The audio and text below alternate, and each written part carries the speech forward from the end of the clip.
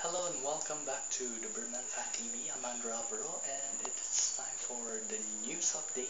Breaking news that June Mar Fajardo will be 100% fit and he can now play in either game number 2 or the remaining games of the finals of the PBA Philippine Cup from game 3 or up to game 7.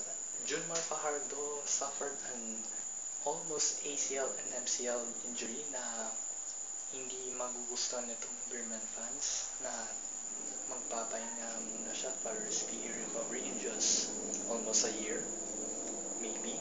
Or even he can play in the center big man in the other future games. So dislike sa akin yun. Nanglabas itong resulta na sabi ng SMB staff and other coaches that have confirmed that June Mar Fajardo is just a minor injury, not an ACL, not nor MCL injury.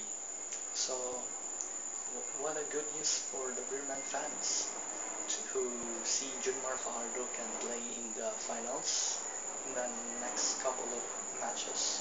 So, malaking impact na pwedeng gamitin si June Mar Fajardo sa darating either game 2 or the remaining game series. So, kakailangan natin si June Mar Fajardo in the future games, especially in the Gilas portion and the upcoming Commissioner's Cup. Anyway, let us tell us comment section below. Like us on Facebook, facebook.com slash thebeermenfantv.